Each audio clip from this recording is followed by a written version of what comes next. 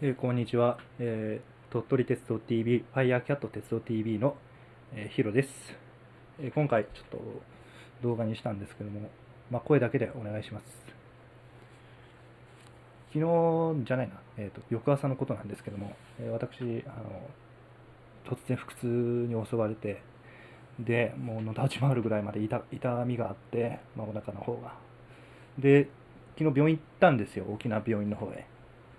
で、まあ、ちょっとね、まあ、まあ、ウイルス性胃腸炎っていうのが診断されて、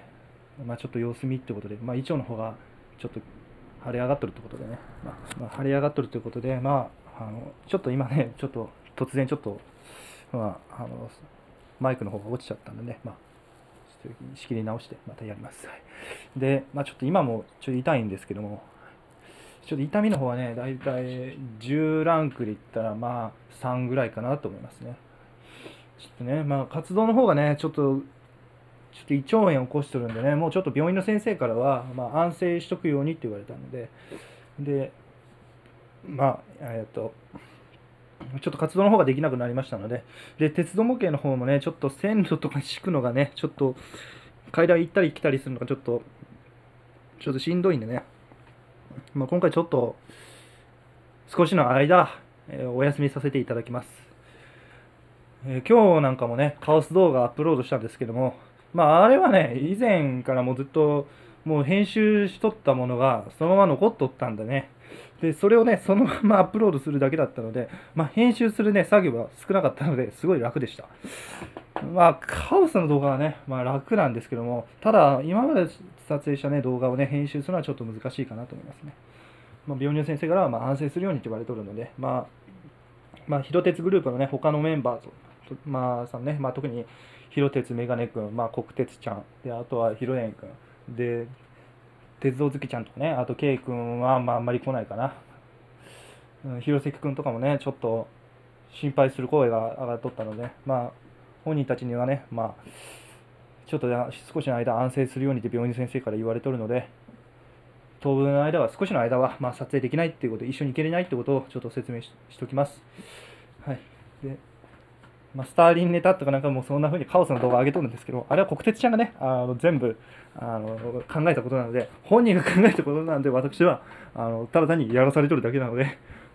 まあ、あの私のこの方にコメント来ても全然わかりませんので、うん、それは本人がやったことだから、向こうの。